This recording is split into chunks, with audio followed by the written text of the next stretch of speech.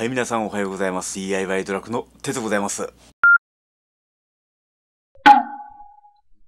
DIY 道楽の鉄はなぜ壊れたバイクを直したがるのか？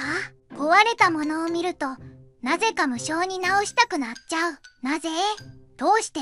その理由を考えていったら DIY 道楽の根っこが見えてきた。レストアとは壊れたものを新品に近づける作業ではない。レストアしたものは経験値と愛着とノウハウを連れてくる。自分が飽きない限りその価値はむしろカスタマイズという形で向上していく愉快さ。バイクや家を直すのは YouTube だけのネタではありません。幼少時代からいつも何かを直してきた DIY 道楽鉄の思考プロセスを自分なりに探求して一冊の本として書き出してみました。買った方が安上がりだよ。と言われ続けながらも壊れたものを直し続けた男の半世紀でございます。